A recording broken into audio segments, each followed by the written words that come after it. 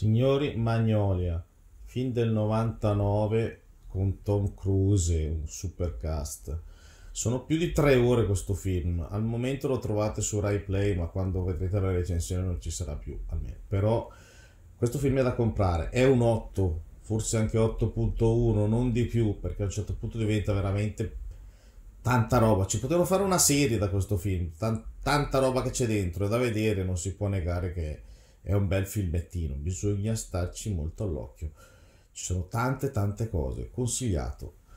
E basta così, un saluto a tutti, se volete iscrivetevi al canale e se volete lasciate un like. Ciao ciao!